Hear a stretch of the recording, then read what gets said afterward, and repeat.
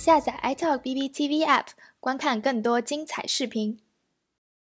二零二一年二月一号，缅甸军方突然拘押了国务资政昂山素季和其他执政党高级官员，夺去了对国家的控制权，同时宣布国家进入积极状态。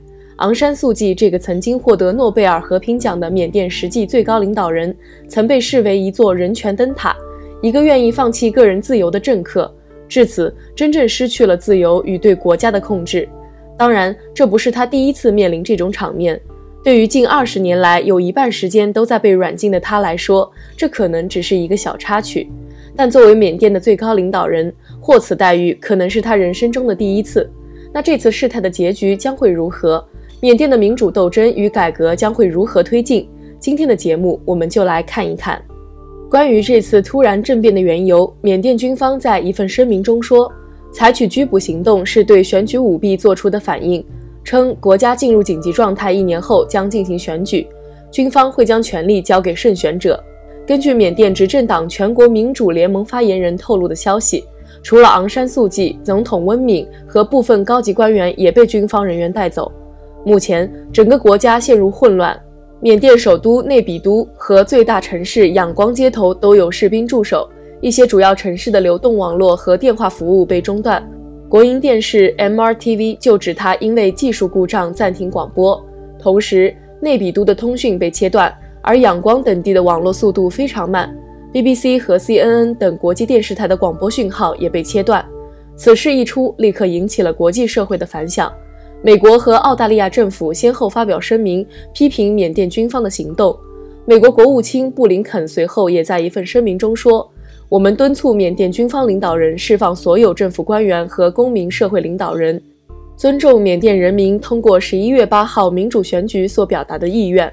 他还说，缅甸军方必须立即逆转这些行动。澳洲就呼吁缅甸军方要遵守法治，透过合法的途径解决争议。随后，联合国秘书长古特雷斯也对缅甸军方拘押昂山素季等人予以强烈谴责。此外，欧盟、英国、澳大利亚、印度和新加坡都对缅甸局势表达关注，而缅甸的邻居中国外交部发言人汪文斌说：“中国是缅甸的友好邻邦，希望缅甸各方在宪法和法律框架下妥善处理分歧，维护政治和社会稳定。”缅甸去年十一月举行了国会大选。昂山素季领导的全国民主联盟取得了约百分之八十三的议席，被视为亲军方的政党联盟巩固与发展党在四百七十六席中只取得三十三席。但军方指控选举出现舞弊，他早前向当地选举委员会提出上诉，要求推翻结果，但不获受理。而就在此前几天，文官政府和强大的军方之间的紧张关系不断升级。军方称，十一月的选举出现了舞弊，引发了人们对选举后政变的担忧。虽然军方上周表示他会遵守宪法，但其实二月一号发生的一切看来则是一场不折不扣的政变。虽然军方仍然掌有很大权力，拘留昂山素季等政治领袖仍然属于一个很危险的举动，可能会引起强烈反弹。这次被反叛的昂山素季也是一个充满争议的人物。是一个从人权斗士到种族屠杀的辩护者。一九九一年，在缅甸被尊为夫人的昂山素季被授予诺贝尔和平奖，诺奖委员会主席称她为无权者力量的杰出典范。现年七十四岁的昂山素季，在一九八九年至二零一零年间，大部分时间都受到军政府的软禁，因为他一直在不懈努力使缅甸实现民主。